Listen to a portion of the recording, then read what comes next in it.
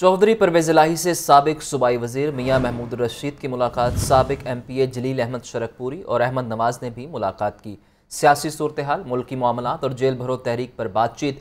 Supreme court की जानब से इलेक्शन की तारीख के मामले का अज खुद नोटिस लेने का खैर मकदम। इसी पर बात करते हैं लियाकत अली से। लियाकत बताएगा क्या तफसीत हैं?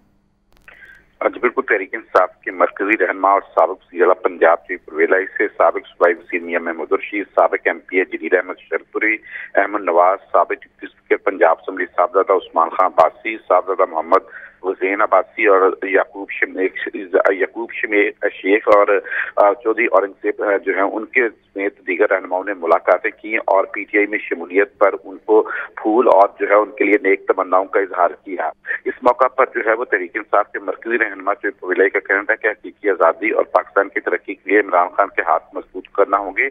अदलिया ही इस वक्त अवाम की उम्मीदों का मरकज है और इलेक्शन की तारीख के हवाले से उम्मीद है कि अदलिया जो है वो तारीख साख अजला देगी। उन्होंने कहा कि जेल भरो तहरीक में आइन जो है के तहफ़ के लिए पार्टी रहनुमाओं और कारकुनों और आवाम का जज्बा जज्बा जो है वो काबिल स्ताइश है और पी डी एम अपनी नाकाम सियासत बचाने और मुखालफिन पर दबाव डालने की खातर जाली और झूठे मुकदमे दर्ज करवा रही है।